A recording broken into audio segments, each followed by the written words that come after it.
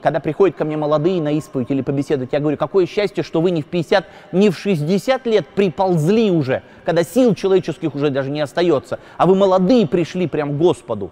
Это значит, что вы всю жизнь можете идти с Господом по жизни. Да, это ответственно, это страшно, это где-то от чего-то нужно отказаться, но это дает неизмеримо больше.